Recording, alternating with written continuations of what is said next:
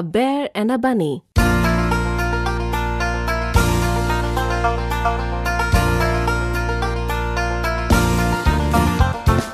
bear and a bunny, they had plenty of money. They went to a shop to buy carrots and honey. The shopkeeper asked them, Where is your money? How strange and funny, they really had some money.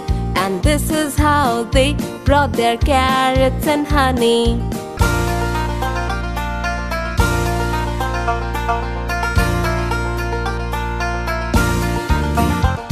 A bear and a bunny, they had plenty of money. They went to a shop to buy carrots and honey. The shopkeeper asked them, Where is your money? How strange and funny, they really had some money. And this is how they brought their carrots and honey.